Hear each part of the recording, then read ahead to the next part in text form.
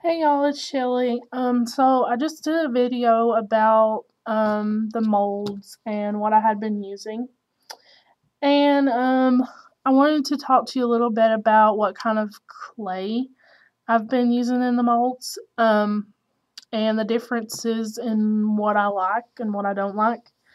Um first I started using the Sculpey clay or the Fimo uh, clay that you have to bake um, I got this large packet of clay of all different colors um, and you can see that I, have used a lot of it already.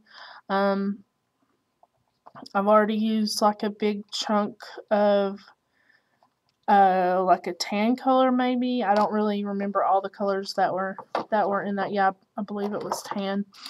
Um, and I used it with my hard clay molds, my silicone molds, and my Oyumaru, the only one that I have.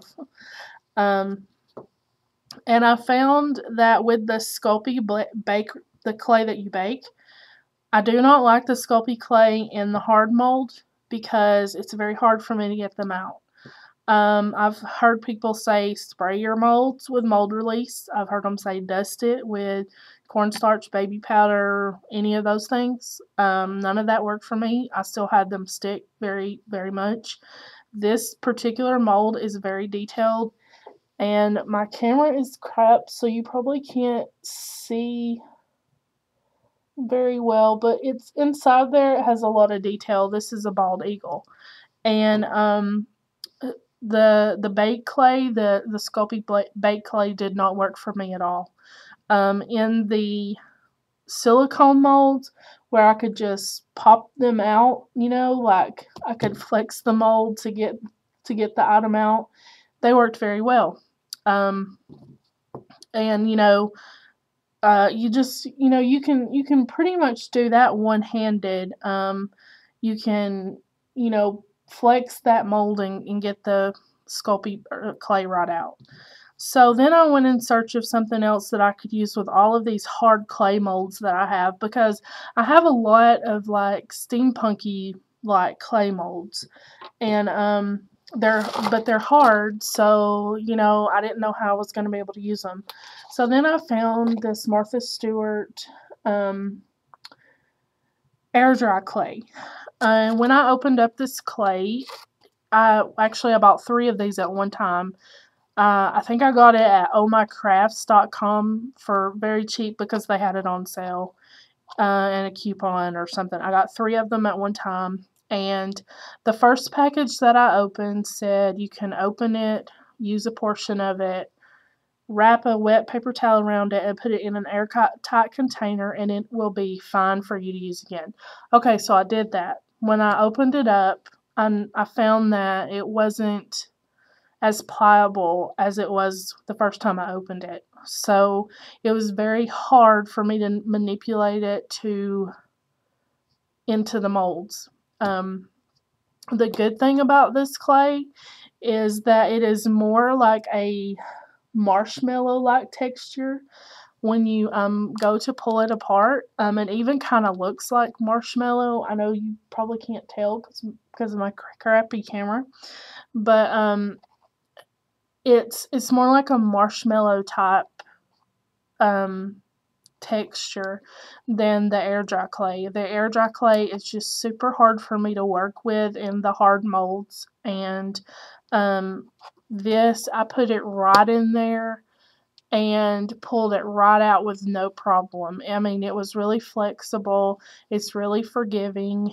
And um, so I really, really like this clay a whole lot for my hard clay molds. Now, the only thing I have to say about this, this Martha Stewart um, air dry clay, and this is the only color I have. I have not gotten any of the colors. Colors.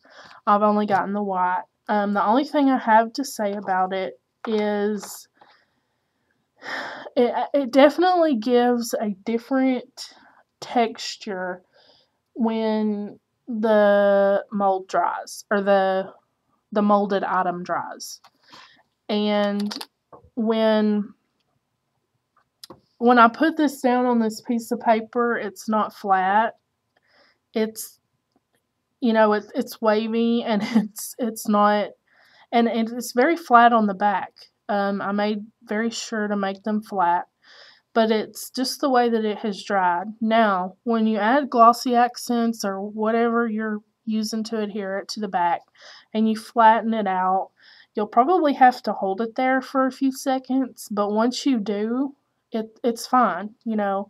Um, so even I mean even with this one with me just sitting there and bending it like that, it's it's pretty flat now. It has one side that's wanting to be a little bit stubborn, but um so this is a lot different. And you know, if you had this on your page and it was metal, it would make your page like a really a lot heavier. So, you know, I've kept all of the pieces that I have like the originals to all of this stuff um, because they're so heavy and I don't want them on the, my pages.